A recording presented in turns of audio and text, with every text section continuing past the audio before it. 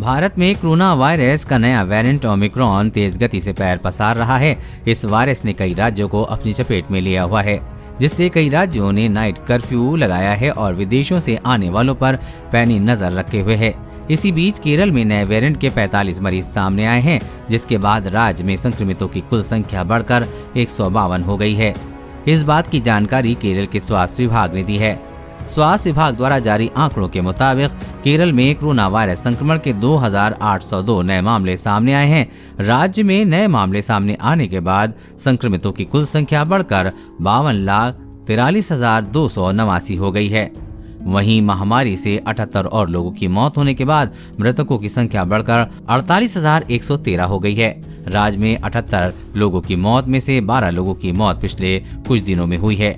एक आधिकारिक प्रेस विज्ञप्ति के अनुसार शनिवार से 2606 और लोगों के संक्रमण मुक्त होने के बाद कुल स्वस्थ हुए लोगों की संख्या बढ़कर इक्यावन लाख चौरासी हज़ार पाँच सौ सतासी हो गई है।